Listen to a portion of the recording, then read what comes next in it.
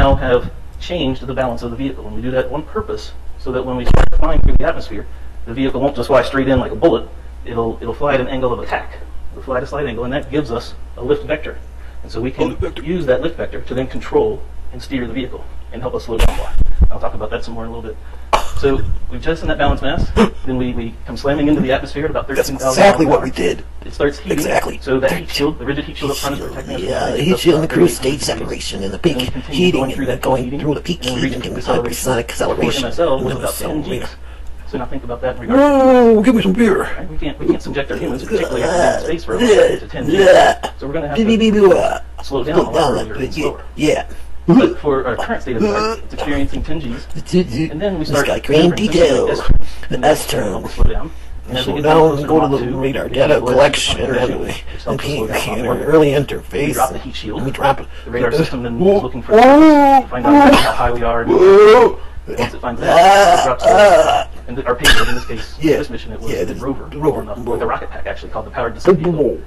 And it continues, continues slowing down, going down the surface. surfaces and a parachute and put it. So that is that the current state of the art. bleh. Instant landing I need more beer. And I'll show you a little bit Show a more little bit more. in a few minutes. A few minutes. But while flying, Flying through, through- sequence, the vehicle system The needs system to be able to to able land within a defined Yeah. area. I showed you what They, uh, before. Here's a close-up. A close-up of it. So this was the That's exactly how it of looks on Mars. And we targeted. Targeted. But that was That was impossible a years ago. a few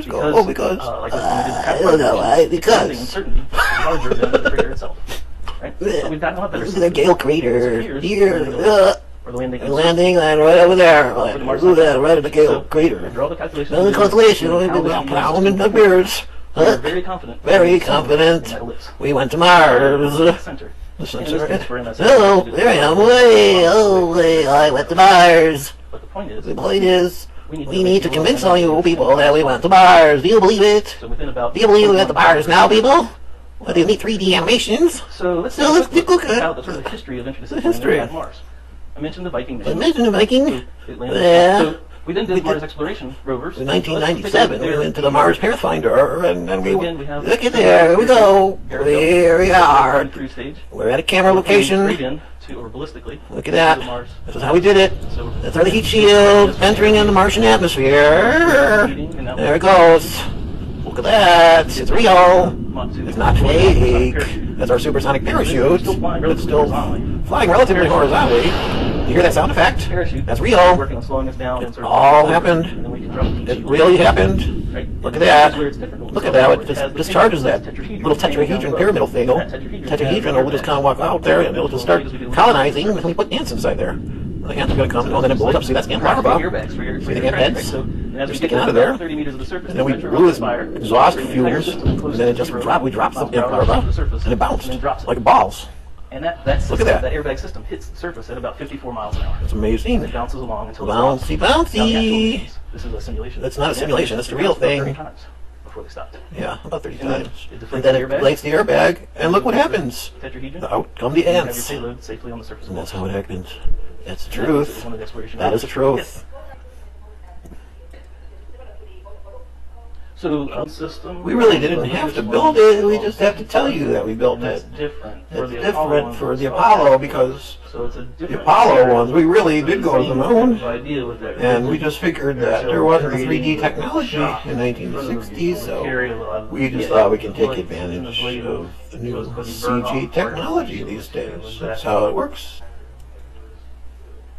The question was, how do you avoid landing Yeah, on well, a we- steep hill or incline? Well, our CG department, so- uh, One is we used, uh, bullet dynamics, system can do that. and we can apply different collision detection variables within our software, and we didn't really have to go. We just had to show you this animation and talk bullshit in front of you people. The area that we're going to a little bit too small. There we go. So we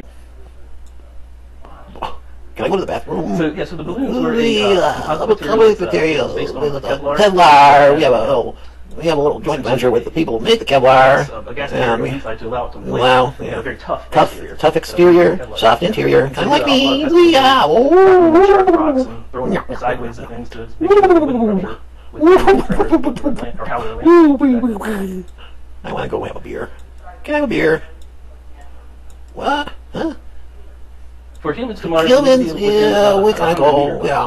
We're gonna go to Mars. Right now, we've Humans, we're gonna go to Mars, and Mars is, Spinning lots of things. it's not that big though, it's only about 100 feet wide. We don't know if we can fit everybody on Mars. Mars away from where we need to be. We don't really want to tell people that they're living inside the concave Earth because that would just kind of like we would lose all our money and we lose all our popularity and we'd have to admit we lied to everybody and we don't want to do that. Lander. We lose all our contracts with all our vendors. Texture that we did for Viking. This little texture map that we applied to this is kind of out of date. We only had Parachute.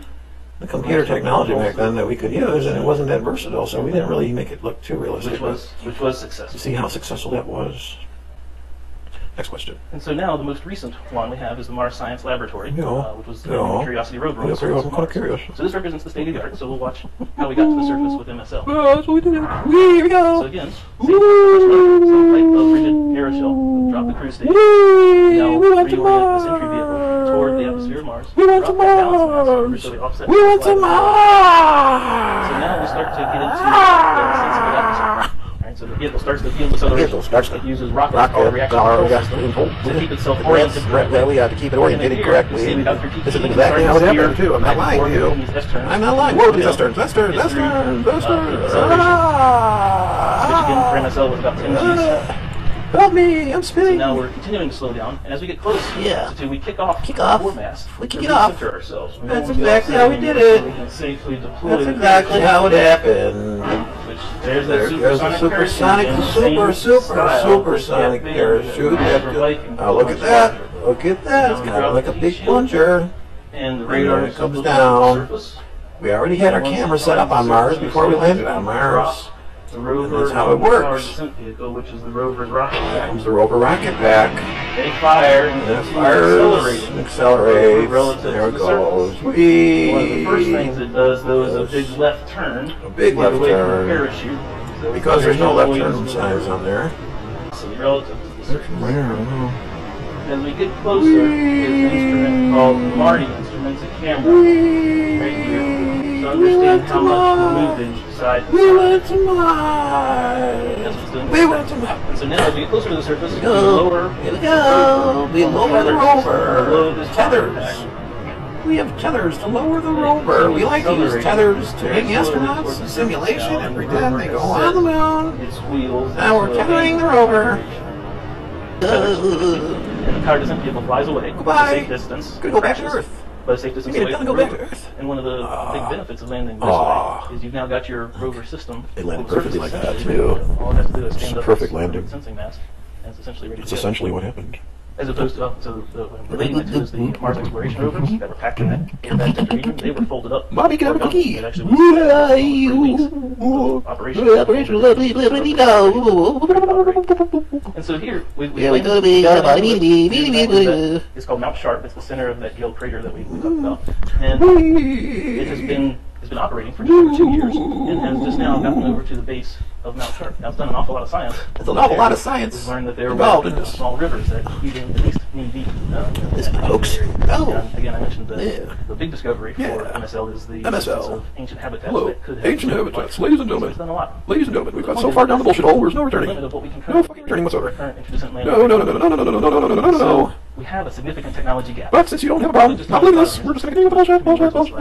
Um, Look, colored graphs. to one metric ton, One metric ton. 10 kilometer ellipse, Wonderful. And access it. We got a real drama, can we make it? One of the No. biggest challenges for human The biggest on challenge for Mars. The other one being radiation protection. Wee. We'll hear more about next week. Wee! Um, Wee! NASA has ooh. had humans at Mars Humans in on the Mars. 1930s. We're gonna do it, yeah. We're gonna have We're gonna do it. all around. It's a very successful commercial. Kinda look like a doughboy. um, other missions. Kinda sound like one too. within NASA. That Pillsbury is one of our vendors for NASA. Portion of things. They send all the goodies up to our astronauts in the space station. Bread rolls, cinnamon rolls, crescent rolls, stepwise closer to human. and rover rolls. Roll over, rover. We are so full Yeah. of The successfully landed on Mars. Successfully, yes. Uh, The mission, so are the yeah. missions coordinated with other countries? Yeah, Um, well, yes, currently, that we even can't like get all the countries to agree on our bullshit, but if we force them to, the we can by sanctions. countries and, you So we'll get them in gear. Don't worry. Absolutely. Oh, yeah, absolutely. Thank you. Thank you. So landing at Mars is not easy. As we just said, we've landed a total of seven times successfully. Well, actually, seven minus seven, Because all of so actually zero times. Who's counting, right? Have landed at low elevation. Uh, you don't want to make this too big of a deal because lower. it's so Um, bullshitty. We've landed less than one metric ton. We don't want everybody And there's been relatively large uncertainties on our landing location. full of shit. And this, the EDL system, Super Technologies. My stomach has gotten to the underwear can stretch. Systemic new investments It's just in new atmospheric flight systems Hello? that are the basis for these entry, descent, and landing systems. That really is the core of EVs. Core? to Speaking be of able to can I have fly these vehicles through an atmosphere. So the agency has started working on some technologies. Remember we mentioned in the beginning that we don't have the answer right now. Wait a minute, you don't have the the things that we're answer? working on. How could you not have the answer? are deployed or infl- it's, it's from a mission called IRVE 3 or the Inflatable Reentry Inflatable boats. 3. And it uh, shows um, Watch this. Good morning, Good morning. Yeah, this one. welcome, Welcome. and uh, welcome back to those of you who've been here Thank you. um, throughout the series. If you have been here throughout the series, uh, you have seen NASA's plans for the next 30 years or so. and uh, the question is, do we have to kill you now? What? The answer is no. did you say? Today, do we have to kill you now? Do we have to kill you now? Do we have to kill you now? Do we have to kill you now? Do we have to kill you now? Do we have to kill you now? Do we have to kill people? Gus Grissom, Thomas Baron and his family. Do you have to kill Alberto Behar? Zachary Warfield?